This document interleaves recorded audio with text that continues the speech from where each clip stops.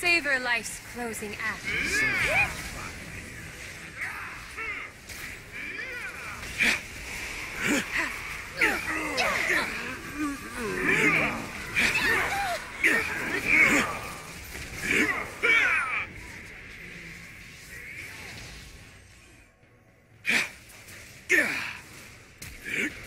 Ashes and dust. Oh.